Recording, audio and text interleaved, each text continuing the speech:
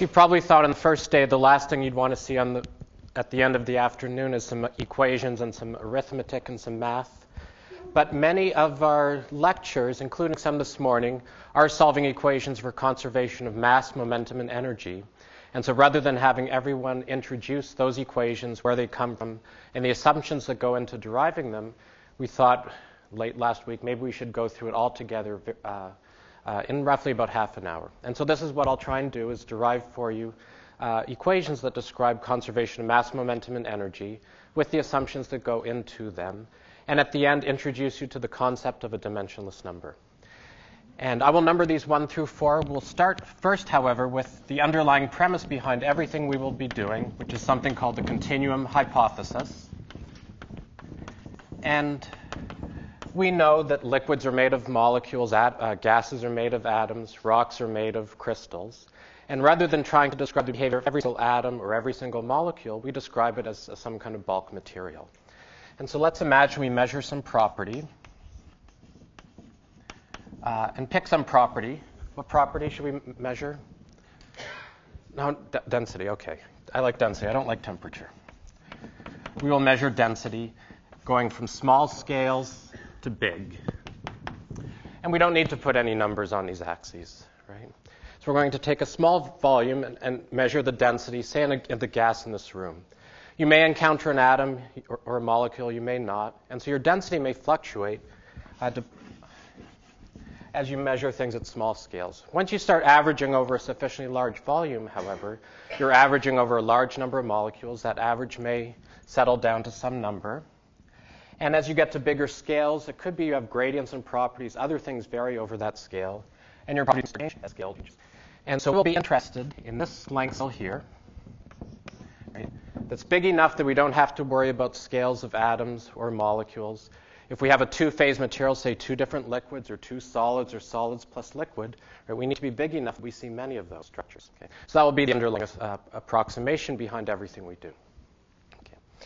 So I'm going to start now with conservation of mass, then we'll go to conservation of energy, about assumptions, a notation, the vector calculus, just interrupt and ask.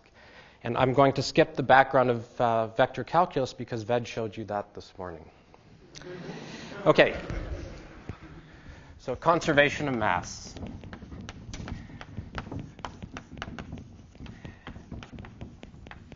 And we will imagine we have some volume here fixed in space with volume V.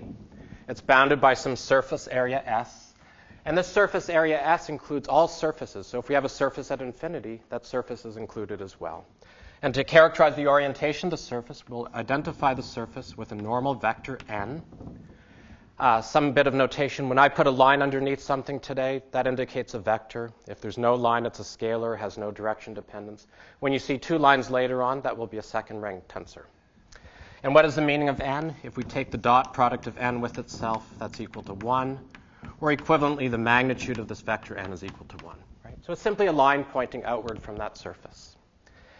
And we, will, we would like to know how uh, the amount of mass inside this volume will change over time. Okay, so we're going to have some density inside here, which could be a function of position, and it may vary as a function of time. What are one, what's one way we can make the amount of mass inside that volume change?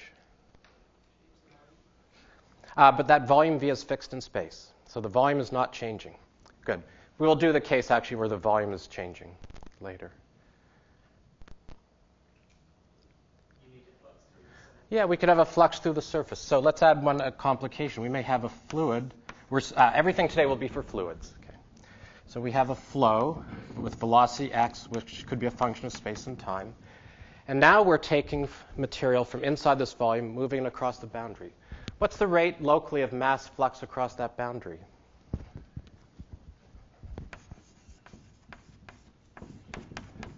So it'll be mass per unit time per unit area.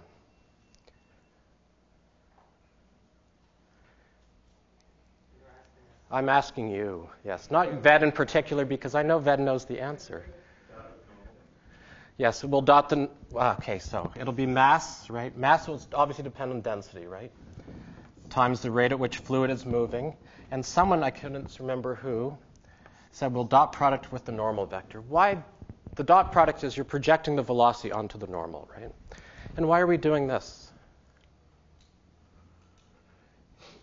If the flow is perfectly parallel to the boundary, do we have any mass transport across the boundary? We don't, right? And so what we care about is the component of mass flux across the boundary perpendicular to that boundary. Okay, so the net rate of mass flow across the boundary will be the integral of that mass flux, rho u dot n, integrated over that surface. Right? We'll simply walk around the surface and add up all the mass that's flowing across that boundary. Okay.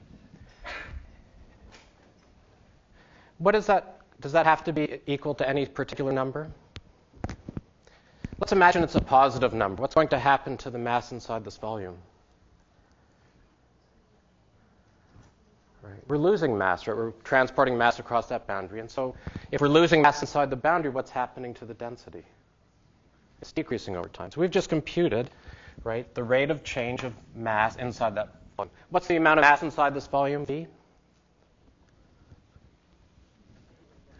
Yes, the density over the volume. And I'm going to, I left a bit of space so I can put a minus sign. Why? Right, if we have a net flux of mass out of the boundary, the left-hand side is positive, and the right-hand side should decrease. Okay, so this is change in mass.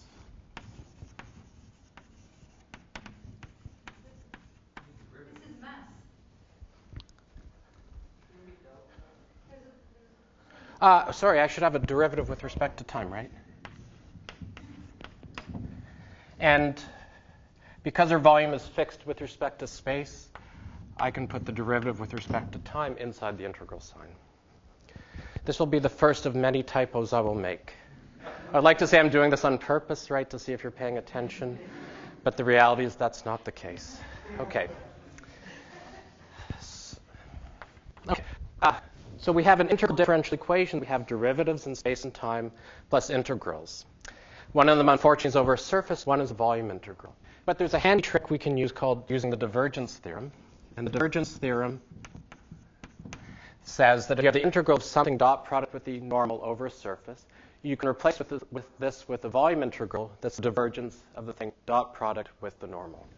So the left-hand side becomes, use divergence theorem,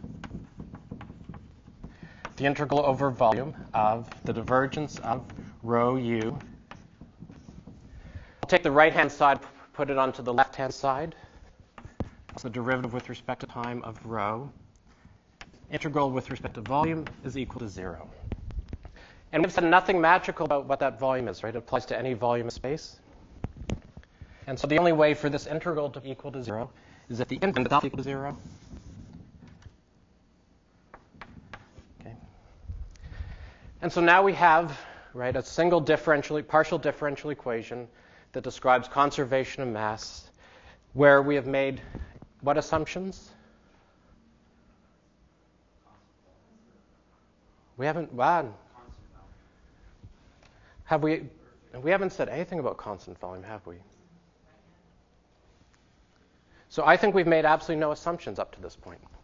The equation is the same the continuity equation.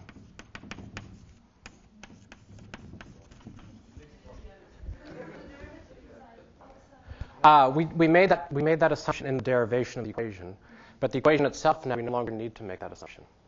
I'll, I'll show you a different way of deriving this equation uh, where we will let our volume vary in time as well in passing, depending on how time goes. Okay. So, following on that comment about how we said our volume was fixed, we're interested here in fluids, right? Fluid. Sorry? Can I erase the? Can I raise the board? Yes, I can do both. Maybe.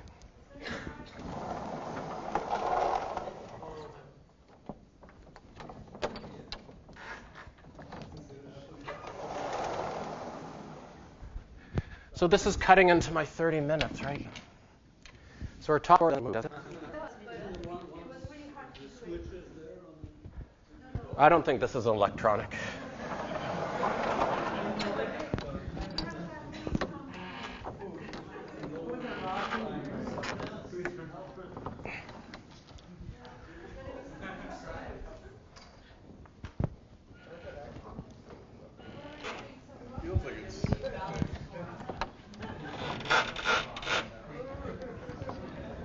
Okay, let's go. We'll just erase.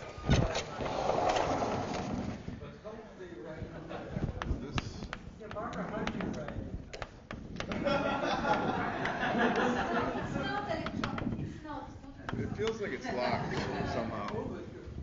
Okay. So what we're going to do now to follow up on your previous comment is we said this volume V was fixed in space. But often it's more convenient to think about derivatives in a frame of reference that's moving with the fluid. Right? After all, we said we have a fluid moving with speed u. Right? We can imagine putting some imaginary line around that fluid, and then we're going to follow that package of fluid as it moves through uh, over the blackboard. Is there a trick?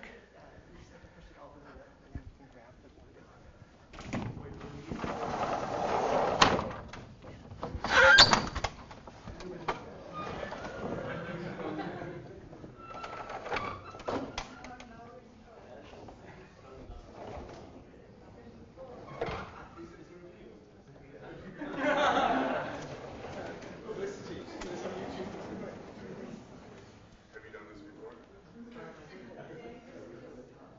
Oh, so you wrote it? No, no, I'm sure it's not electronic.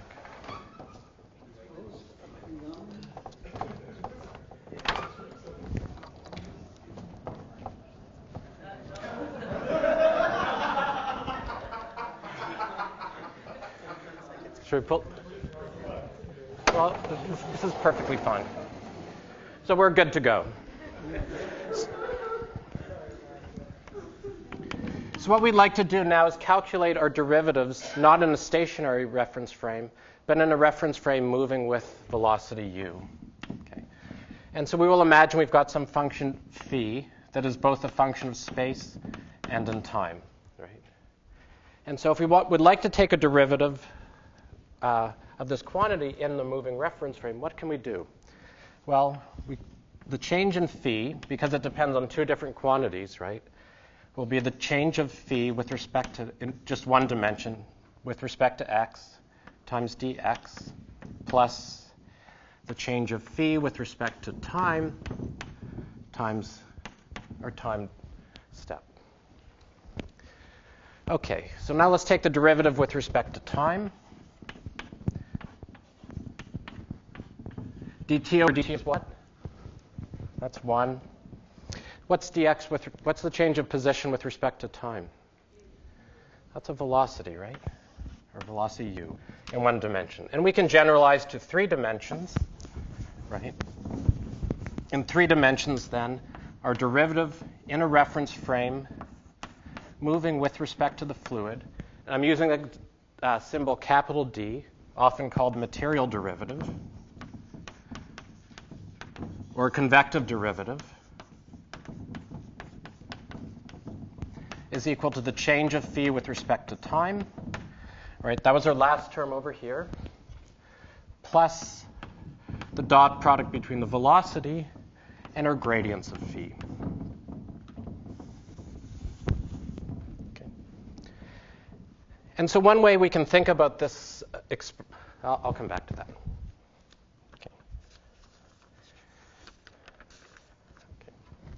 So one more aside I will make before we derive a statement uh, of conservation of momentum uh, is to revisit something I just erased by accident on the right-hand side.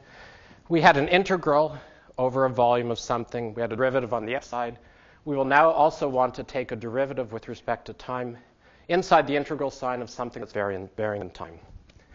And there's a theorem that allows us to do this, which I will not derive for you, called the Reynolds transport theorem.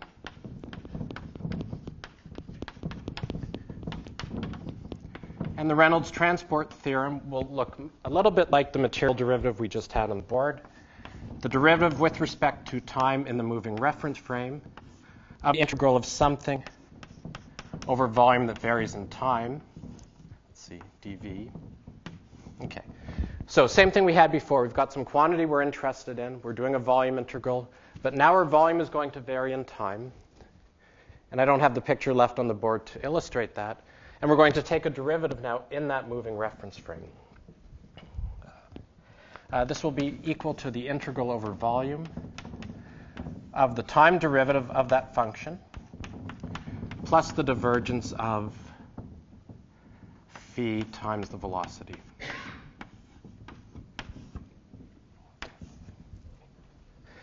And you'll see that there's a point of writing down this Reynolds transport theorem for you.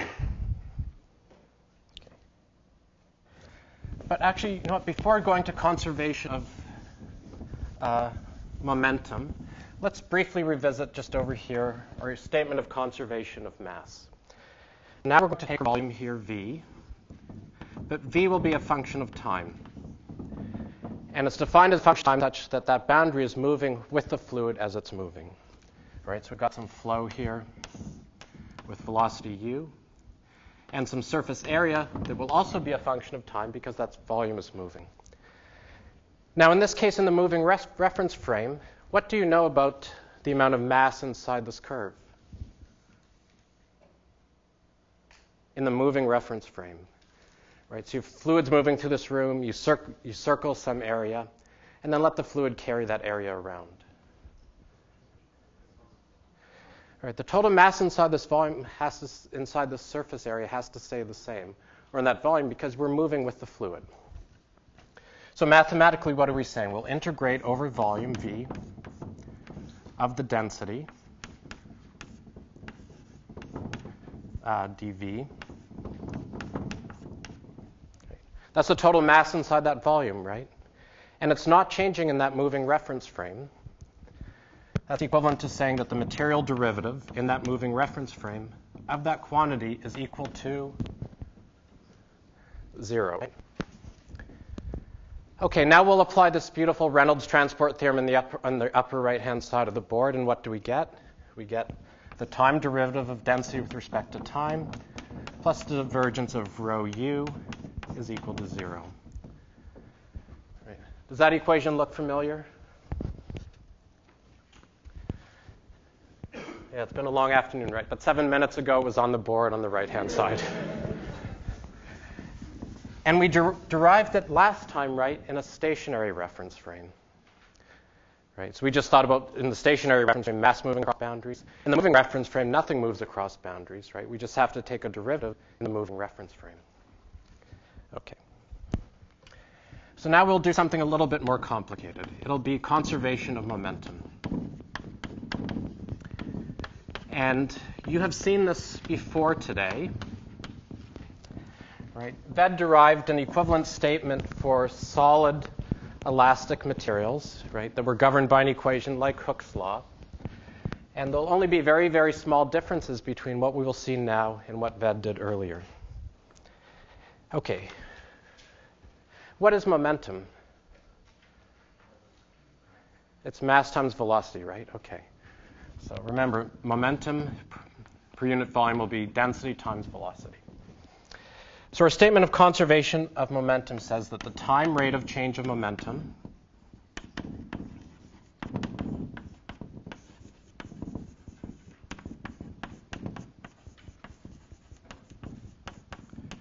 is going to be equal to something. Right? How, how do we change momentum? Imagine you've got fluid moving through this room or an object. How are we going to change its momentum? You apply forces to it, right? So this will be equal to the forces that act on the object.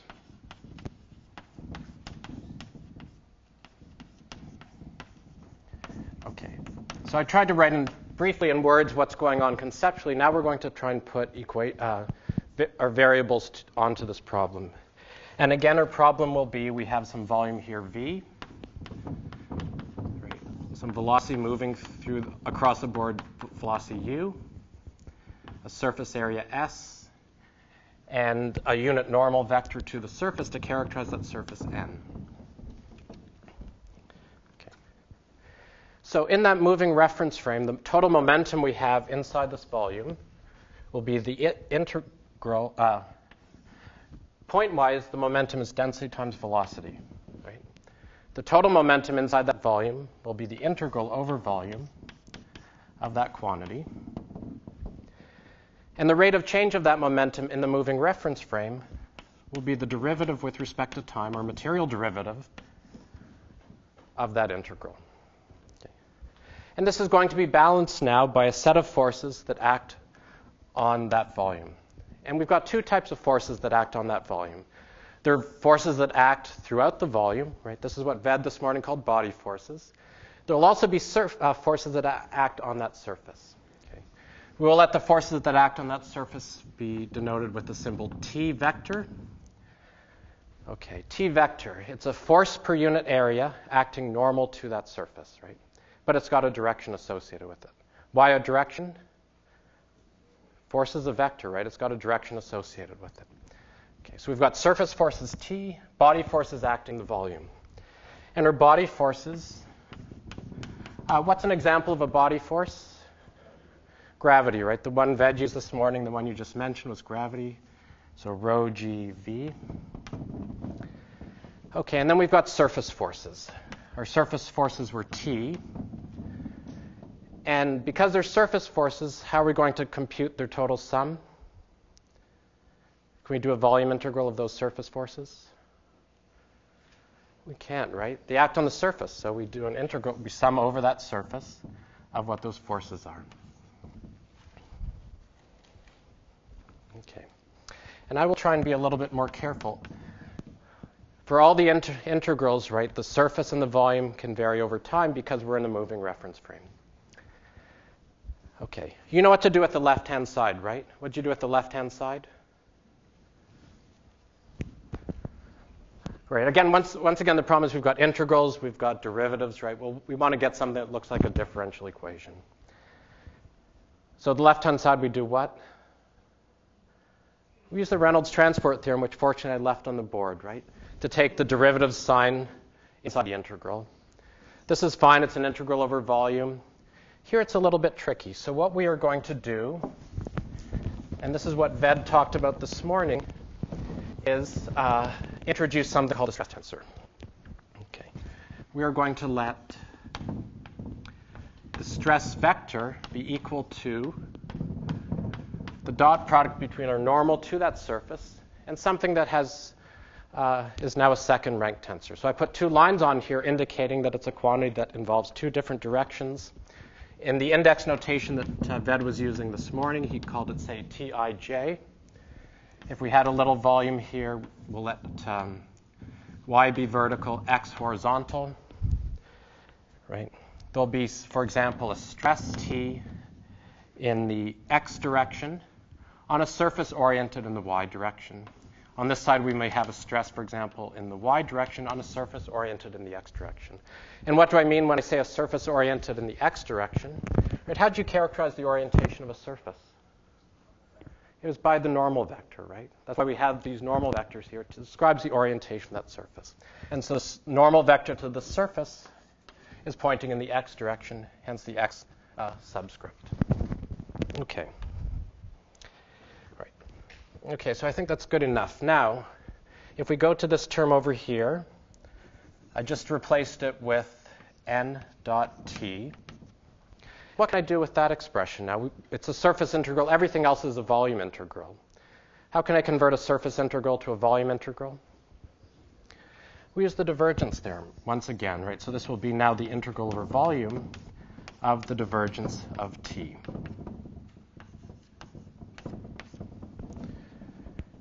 And maybe this is unfamiliar because this is a second rank tensor, and I bet in your vector calculus class, if you ever took one, that was just a vector, but the concept and the principle is the same.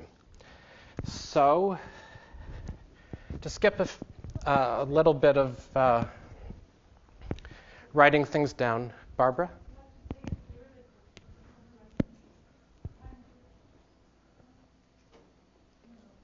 I don't think there's any time derivatives missing. Okay. Okay, so using the Reynolds transport theorem, which I haven't written down here, we have everything integrated with respect to v, integral with respect to v, another integral with respect to v. And so, again, the only way for the sum of all the terms to be zero is if the integrand itself is zero. And so that integrand looks like the derivative of rho u with respect to time plus divergence of rho u u is equal to uh, rho g plus the divergence of stress. Okay.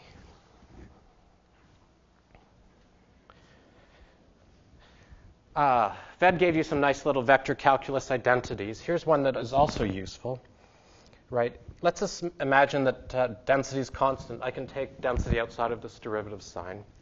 You might wonder what the divergence of the product of two vectors u times u is. And this is equal to u times the divergence of u plus u dot grad u.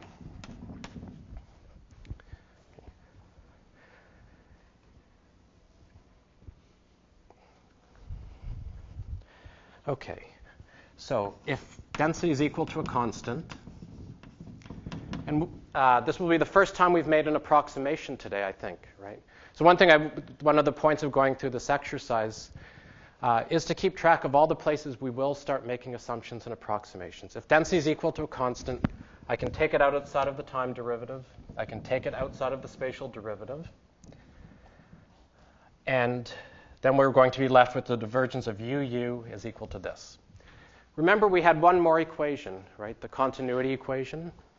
The continuity equation was the derivative of rho with respect to time plus div rho u is equal to 0.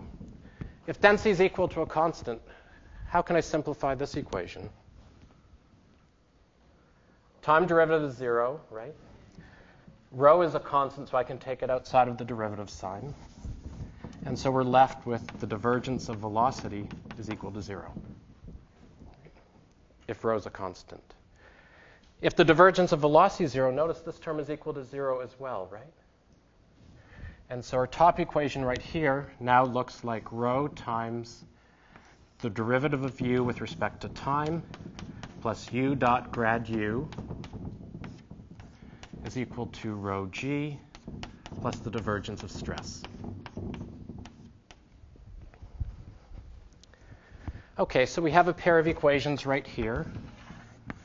And up to now, we've only made one assumption. Density is equal to const- a constant, to simplify things a little bit. And I guess we didn't really have to do this. We could have just left, started with this equation and the continuity equation. Okay, so are we set to go? Can we apply this equation and start solving fluid flow problems or any other problem? So, in order to solve a set of, we have a set of equations, right? How many equations do we have right here? Nate says two. Two plus one. Well, let's see. Let's, let's count equations, right? And we'll assume we live in a three dimensional world, right? We have four equations, right? We have one equation from conservation of mass. This is a, a vector equation, right? U has three different components. So one for ux, you pick your favorite coordinate system. So we have four equations altogether. Louise? Oh, it's just uh, ugly. Yeah, it's okay. So we have four equations.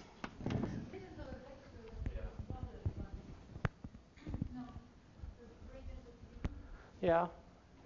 You can take gradients of vectors. A gradient of a vector, of course, will be a second rank tensor. Right? So it'll involve two different directions. But every time you see a dot product, there's a contraction of one of those directions, right? So a dot product between a second rank tensor and a, a vector gives you a vector again. Uh, something I should have said in passing, right? What's the derivative of the velocity with respect to time, physically? That's an acceleration, right? And so this is maybe what you might call a normal acceleration in a stationary reference frame. This term here also involves accelerations as well? But an acceleration because as you're moving through the fluid, right, with speed u, you're encountering different velocities. And associated with those different velocities that you encounter as you move through the fluid, your velocity is also changing.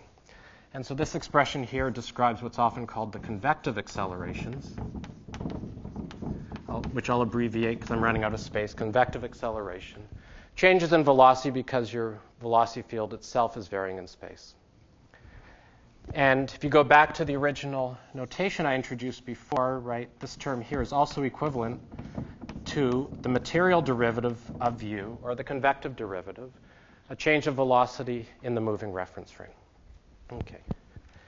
So before that short aside, we're trying to figure out, can we solve this set of equations and are, are we done and can we move on? Uh, how many equations? Four. How many unknowns? I'll start you. Velocity has how many unknowns? Three. Stress we don't know either. How many unknowns in the stress?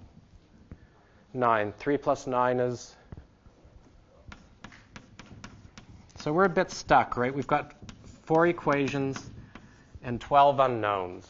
And we're going to have to do just a little bit of work to convert this into something that is actually solvable.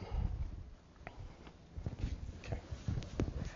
And so this is where we have to introduce the source of much of the complexity, certainly in the kinds of problems we're interested in, uh, in something that's called a constitutive law.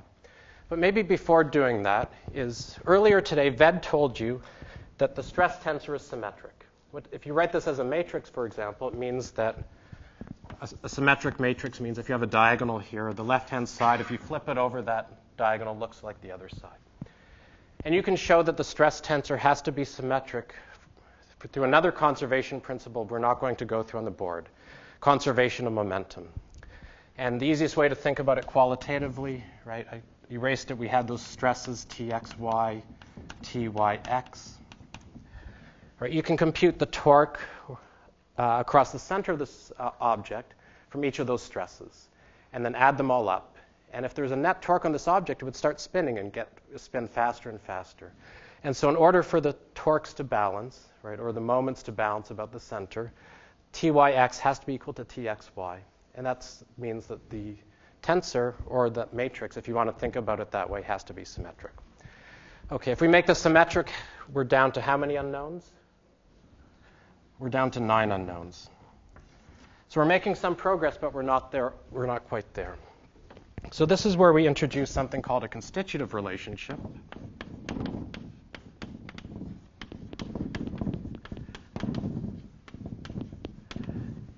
And in a constitutive relationship, we will need to say that our stress tensor T, maybe without thinking too hard, you can guess that the only way we can do this is if our stress T is going to be some function of velocity, right? We have to basically get down to a number of equa- unknowns that's very close to the number of equations, which has three, com- three velocity components. And so we will subdivide our stress into two parts. The isotropic part that Ved talked about earlier, which he called pressure. It's something that's uniform, it acts in all directions. I, earlier today, I think was usually called delta ij. Basically, it's ones along the diagonal of a matrix, zero elsewhere. Okay, so this is the isotropic stress, the pressure, it acts uniformly in all directions, plus something else the called the deviatoric stress. I'll use the symbol tau hoping that other people will use something somewhat similar. And this is now where we're going to have to make our assumptions. We can assume that this deviatoric stress could be a function of the velocity. Maybe it's a function of velocity gradients. Maybe it's a function of spa- second spatial derivatives of velocity. Maybe it'll depend on the time history of velocity, and so on. Okay. And that should be a closed parentheses over here. So essentially what we're going to do is assume that our stress, the deviatoric stress that we, uh, is a function of the velocity of the fluid. And in particular, for something that we call a Newtonian fluid, we're going to assume that the stress tau is proportional to velocity gradients. This was the constitutive law, in fact, that Ved, similar to what Ved wrote down, right? This is uh, Derivative of velocity with respect to space is a strain rate. Strain is a, veloc- a change in position with respect to uh, space. So now we're taking a change of strain with respect to time. Okay, so this is an assumption, right? In fact, this is the, the most important key assumption we will have made up to now. Uh, what do we know about tau? Not very much, right? Except that it does have to be symmetric. Is the gradient of velocity symmetric? Take any vector, right? Use any vector. Does it have to be symmetric? There's no reason for it to necessarily be symmetric. So if you want to make something symmetric, right, the easiest thing to do is to add it to its transpose. right? So build the transpose again as you take your matrix, you just flip it about that diagonal. And if you take something, you add to it something flipped about the diagonal, then it has to be symmetric.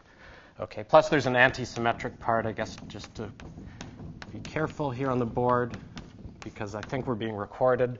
We have to subtract from it, right, something else.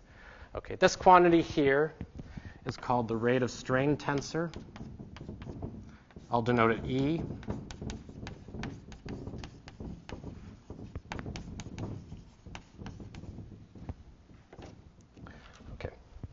So what we're going to say then is that this deviatoric stress tau is linearly proportional to the rate of strain E. Okay. So earlier this morning, Ved wrote down an analogous equation. He said the stress was proportional to the strain tensor. And, and the simplest linear relationship between those two second rank tensors involved what? A double dot product with a fourth rank tensor, right? And Ved told you that fourth rank tensor had how many uh, components or elements? 81. And in the most general case, there were how many independent quantities? 21, right? Okay, 21. And the reasoning by which you obtain those 21 independent components is a lot of work.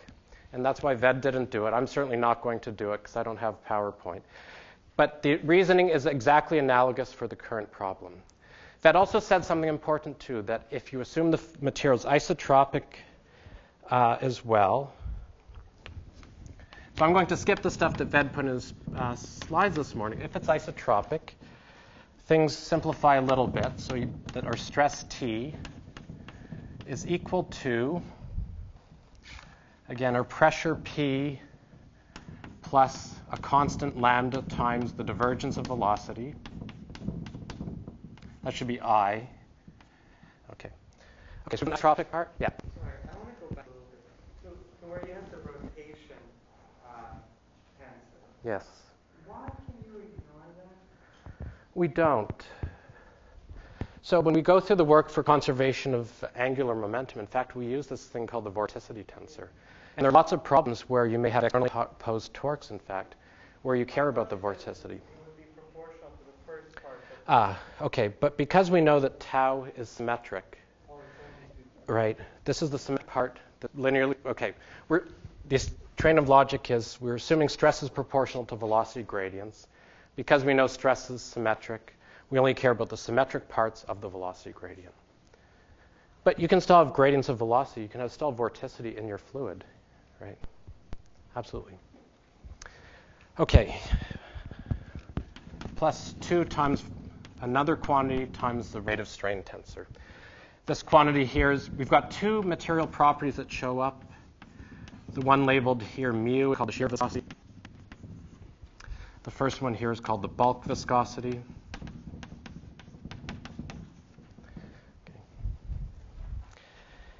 Okay, so now if we go ahead and add up all our unknowns and all the equations, we still have four equations, right?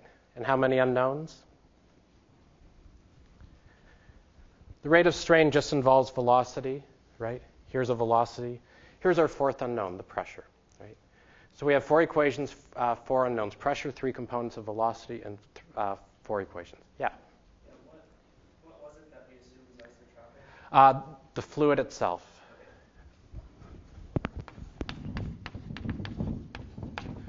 And this was the case this morning. For a linear elastic material, you had two material properties. Okay. Now, earlier we said that if we, we made the assumption, in fact, that uh, density was equal to a constant. If that's the case, what do we know about this term right here? It's equal to zero, or we can leave it out. So we can take our stress tensor. Shoot, I erased the previous equation. We had an equation that had a divergence of the stress. We can take the divergence of this expression here, remembering that E is related to the velocity, and we obtain an equation that looks like density times derivative of velocity with respect to time plus u dot grad u is equal to rho g um, minus the gradient of pressure plus mu grad squared u. The divergence of velocity of zero being assumed earlier on. And this is a very famous set of equations. It's the basis for most of fluid mechanics, and these are called the Navier-Stokes equations.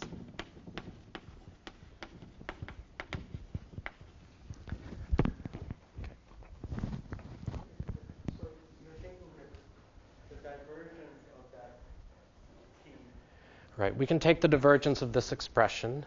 So you use a bunch of vector identity. I use some vector calculus, yes, to simplify that. But either you've seen it or you haven't seen it. If you haven't seen it, I'm not going to teach it to you effectively. And if you have seen it, it shouldn't be too hard to do. Just to be a little nitpicky, would you like an identity matrix? Yes. Uh, right. No, it's right here. Oh, Yeah, it's good. For an incompressible fluid. So, Barbara, right. So, what I'd like to do now before a bit of time, I'm going to finish in five minutes, though, I promise, Bruce. Uh, let's make a list of all the assumptions, that go into, in fact, deriving this very famous set of equations. So, Barbara said incompressible fluid. Right. And you can backtrack to see where we had to make that assumption. If we don't make the assumption, keep in mind, right, we have this additional property called the bulk viscosity that almost nobody measures. It's hard to measure. Okay, what else?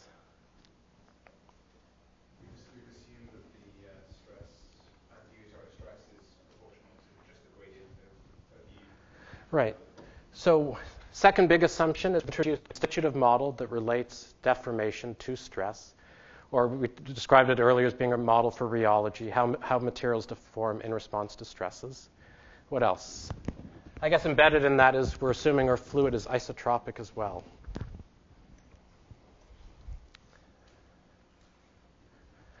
Uh, something that's not apparent, well, actually, it is apparent. Well, I erase the board. We made one more assumption. And just yell out the answer because I can't look backwards. To get this final expression, we had to take the divergence of, uh, divergence of the expression up here, right? Notice we have a viscosity outside of any derivative sign. So we've also assumed viscosity is constant as well. Density is constant, viscosity is constant. We've introduced this thing called a Newtonian model for fluid deformation, and the fluid's isotropic. Okay. So I was supposed to end by doing conservation of energy. This one's even messier than the last one.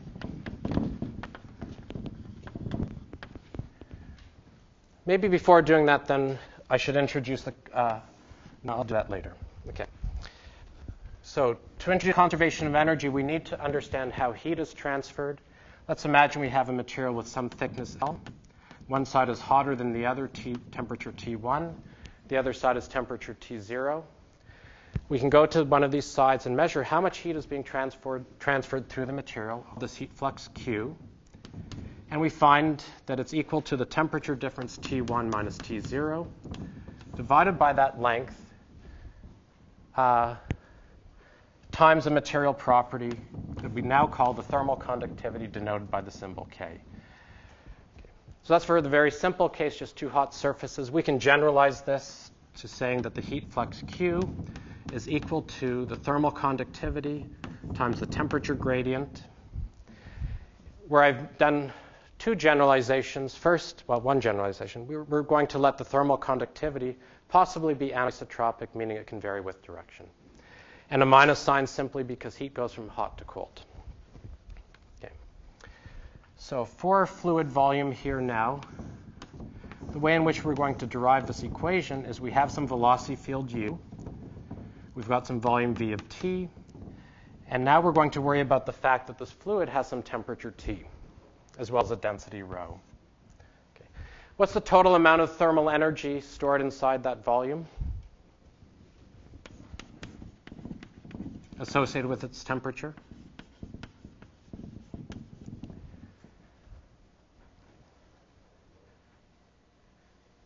Energy is equal to temperature times times heat capacity times density, right? So rho CT is the total thermal energy at any point inside that volume. The total thermal energy is the integral over that volume with respect to V. And we're going to ask how this energy changes over time as we move in this moving reference frame. Okay, so this is the thermal energy right here. To save time, I'm not defining C, but I'm sure you've all seen it before. In a moving reference frame, we're going to evaluate how it changes over time.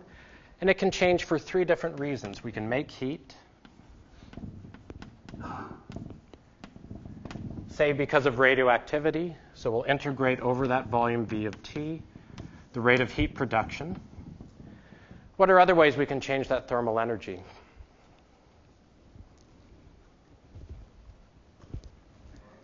Yeah, we can lose heat across our boundaries, right?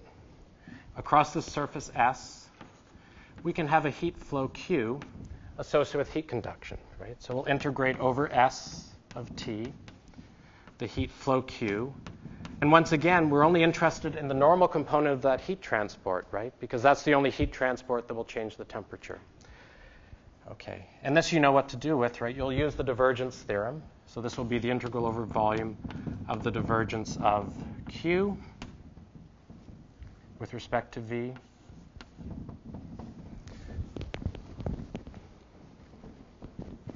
And this is getting to be a bit of a mess, so I'll just put a box around this to keep it separate. Plus, there's additional sources of energy. There's work done by body forces and surface forces.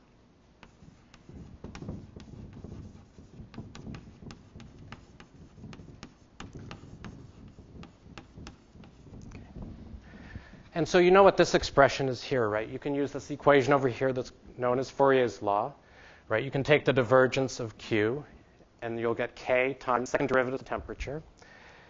To evaluate this term here is really complicated.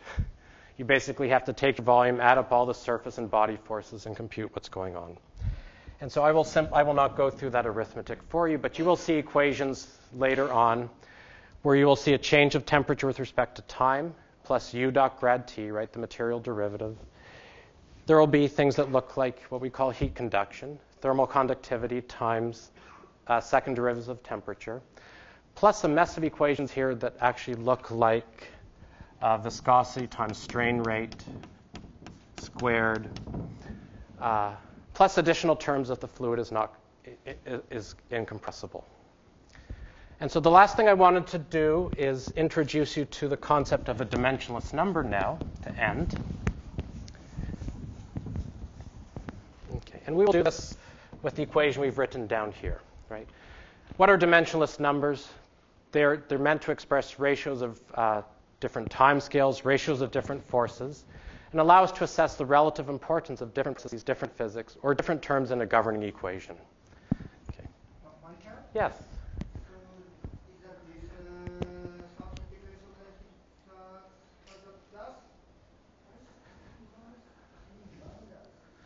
Uh, there should be a minus sign here, absolutely right, because if we're losing heat Q from the volume, temperature's going down. Yes. Excellent. Okay. Okay, so the way in which we do order, uh, introduce dimensionless numbers, let's go ahead and estimate the size of the different terms in this equation. This term here looks like the material derivative of velocity with respect to time, right? Okay. And Bruce introduced you to a problem where we have a convecting fluid moving with some velocity u, characteristic velocity u, and we've got some dimension L that characterizes the size of the system. And maybe we have a temperature difference across this box or some other uh, dimensions that will characterize it. So now we'd like to know, given this equation, what can we do anything or think about it and assess the relative importance of these different terms? What's the order of magnitude of the terms on the left-hand side? I'll use a notation O, meaning order of magnitude. This will be of order of magnitude density times the velocity divided by a time scale. Okay. In the picture I drew on the right-hand side, we don't know anything about a time scale over which things are changing. But actually we do. How can I relate time to things that we see in this picture?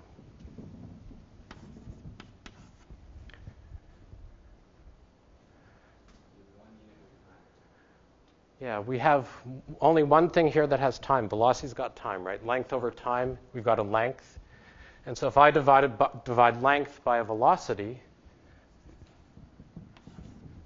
right, I get something that has units of time.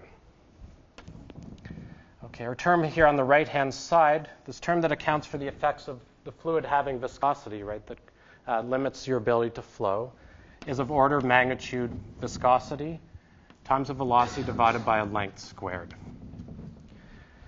So you may have a physical problem, right, governed by this equation, and you want to know, well, is the acceleration of the fluid important? Is viscosity important? Right? What's the relative magnitude of those two different terms? And so we can do this. We will take the ratio of those two terms. Physically, inertia. The ratio of the terms that involve inertia on the left-hand side to this term on the far right-hand side that characterizes the importance of viscosity, viscous forces.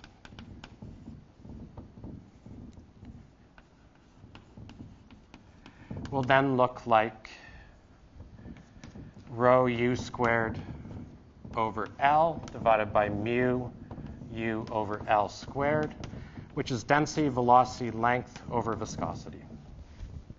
Okay. And many of these dimensionless numbers turn out to be named after famous people. This particular one is called the Reynolds number, after Osborne Reynolds. Okay, and this was the first dimensionless number I guess you will see. Uh, second one, because Bruce introduced you to something named after Lord Rayleigh called the Rayleigh number. But in the end, all these uh, dimensionless numbers you will be seeing over the, up, uh, over the next two weeks are meant to describe the relative importance of different terms in a governing equation or the relative magnitude of different forces of different timescales. And they allow us to decide what, what, what physics matters and which one might not. If the Reynolds number is very small, what can we do to this equation? If the Reynolds number is very small, it means inertial forces are small compared to viscous forces. That is, the terms on the left-hand side here that describe inertia are much smaller than those associated with viscosity. And so we can leave out the left-hand side. Okay? And we will be left with an equation that balances buoyancy forces, pressure gradients, and viscous stresses. Okay. And that's where I'm going to end today, a little bit longer than I expected. Any questions? Ed? Okay, so when, when you took the, um, when you assumed that the gradient of the shear uh, viscosity was negligible, right? That the gradient terms of the viscosity were negligible. Is this, first of all, is this okay if you think about realistic rheologies? And second of all, what equation do you solve when you do convection? Same equation. But what if you have like a shear thinning? Ah, okay, Well, so. we can change that. You know, I, I guess I always think of that as the conservation of momentum, and you can always take that, uh, well, I guess the, what was previously written. You can always take that, um, constitutive equation and change that. I, I consider that kind of like, depending on the physics that you're doing, Well, is that, plug and play. And then everything that follows will. Yeah. In the original equations, when we said we got up to 12 unknowns, that we made nine by, by saying it's symmetric, there was that term that involved the divergence of the stress tensor. So all you need to do is here, any model that describes the relationship between stress and deformation, and evaluate the divergence appropriately. And so up to that point, we made no assumptions and no approximations. And so if you would like your stress to depend on, visco- on uh, strain rate squared or have a temperature dependence, right, or something more complex, it just goes into here. It's only in going from this point here to deriving this thing called the Navier-Stokes equations that did have to make that set of assumptions. So to, as you start relaxing some of these assumptions, you just have to work your way backwards through the different steps we went through. Yeah. Would it be fair to say, and when we derive the conservation of momentum equations, that leaving out source and sink terms is an assumption? Or would you call that more just, uh, you know something about the geometry? We have sources and sinks of momentum, in fact. So the sources of, so uh, those two, we had change of momentum in that moving reference frame was balanced actually by a set of sources and sinks. There are body forces and surface forces. Ah, yes. So if, in fact, if you would like to have a source of mass or a sink of mass, uh, you could put them in in the same way we sort of did. I hit it here in the um, energy equation. It was right here. We just integral the heat production. You can do something analogous if you have a source or sink of mass.